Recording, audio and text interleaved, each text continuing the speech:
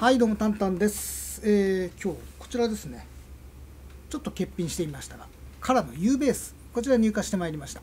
これジャーニーマンというシリーズで、えー F ホールタイプですね。そして今回入ってきたのがこの黒のカラーリングの1本でございます。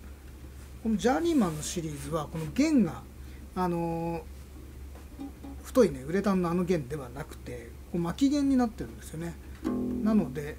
あの手触りとかこれの辺はねエレキベースとか一般的なベースと、まあ、同じような雰囲気で使えるのかなという感じです。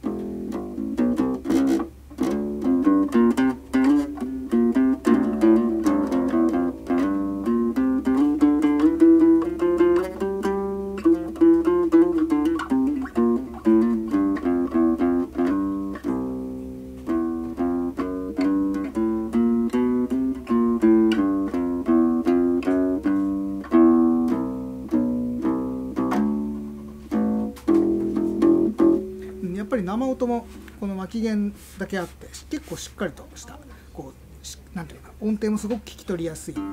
で家の練習用のベースなんかとしてもね非常に使いやすいんじゃないかなと思います。でさらにこれ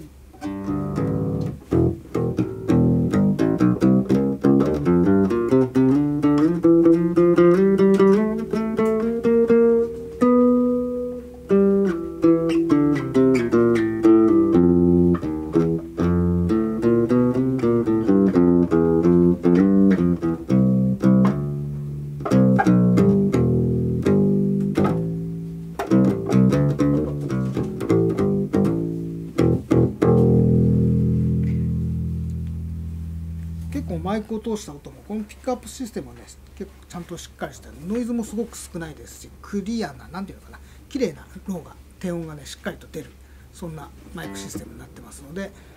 マイクを通してもライブとかでもね非常に使いやすい一本になってるんじゃないかなと思います、